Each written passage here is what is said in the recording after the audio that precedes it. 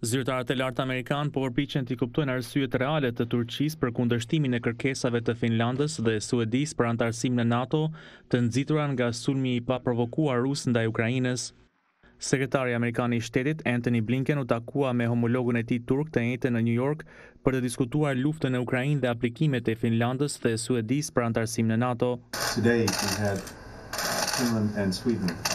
Finlanda dhe Suedia kanë paraqitur kërkesat e tyre për anëtarësim dhe natyrisht ky është një proces dhe ne do të punojmë përmes këtij procesi si aleatë dhe si partnerë, tha ai.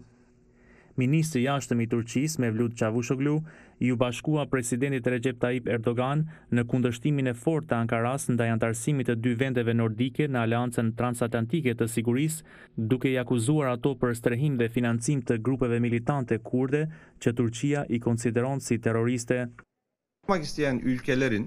Është e papranueshme që vendet që duan të jenë kandidate për anëtarësim në NATO të mbështesin organizatat terroriste që na kanë vënë në shënjestër, nuk bëhet fjalë vetëm për mbështetje politike, për shembull Suedia furnizon me armë organizata terroriste, tha ai.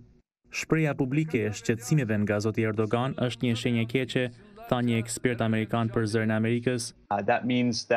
he sort of either. Kjo do të thotë se ai dëshiron një përplasje publike për qëllime të brendshme ose mendon se nuk u konsultua në nivel të mjaftueshëm për këtë çështje dhe dëshiron një lloj vëmendjeje të nivelit presidencial nga Presidenti Biden, një gjë që ndoshta ai e ka dashur për një kohë të gjatë, thotë eksperti Max Hoffman nga Qendra për Progresin Amerikan.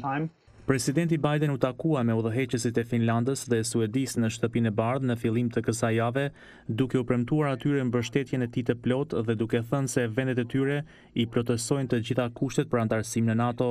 Presidenti finlandez, Sauli Niinisto, tha se Helsinki e merr seriozisht çështjen e terrorizmit dhe është i hapur për trajtimin e shqetësimeve të Turqisë. Kryeministrja e Suedisë, Magdalena Andersson, tha se qeveria e saj po zhvillonte gjithashtu një dialog me vendet anëtare të NATO-s dhe theksoi ndryshimin historik që ka sjellë sulmi rus ndaj Ukrainës për Stokholmin pas dyqind vjetësh mosangazhimi në aleancat ushtarake. Pranimi i anëtarëve të rinj në NATO duhet të miratohet unanimisht nga tridhjetë vendet e saj anëtare.